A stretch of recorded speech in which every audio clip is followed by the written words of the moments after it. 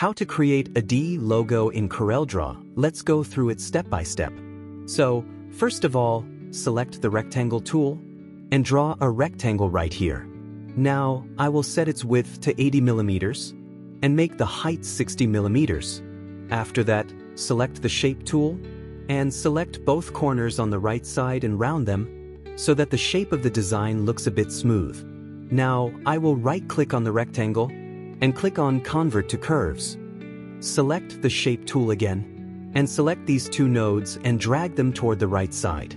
Once the alignment is correct at the midpoint, release the mouse. Now, select the Circle tool and draw a circle. I will set its size to 13 millimeters. Now, make a duplicate copy of this circle. Then, from within the Freehand tool, select the three-point curve option.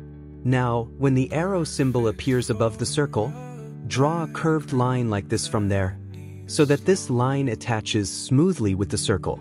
Similarly, draw another line on the bottom side as well. Now, using the Fill tool, fill the inside of this shape with your desired color, and delete any extra lines that remain. Now, I will make the color of this shape white, and completely remove its outline. Then here, I will zoom in a bit and round the shape more neatly. For this, select the Shape tool once again, and zoom in and double-click right here. This will create a new node. Now, bring this node a little closer, and when the curve starts to look just right, double-click on the extra node to delete it.